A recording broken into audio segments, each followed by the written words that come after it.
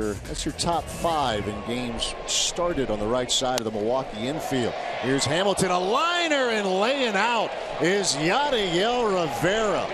Wow, what a play by the shortstop. Yep, he's uh, he's good out there. He's got very quick instincts and able to get to that one, keep it in the glove.